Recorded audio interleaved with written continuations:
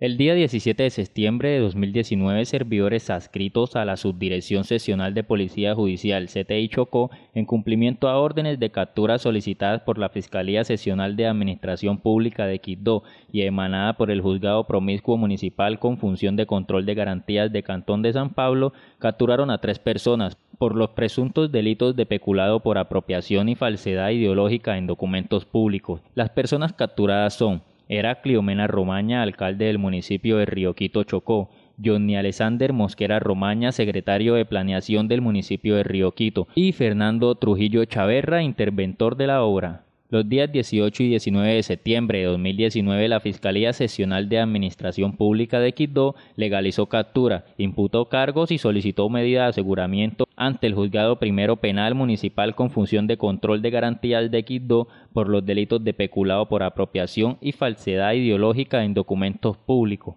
En audiencias concentradas, el juzgado en mención declaró legal el procedimiento de captura, imputación de cargos e impuso medida de aseguramiento domiciliaria a cumplirse en su lugar de residencia. Los imputados no se allanaron a los cargos.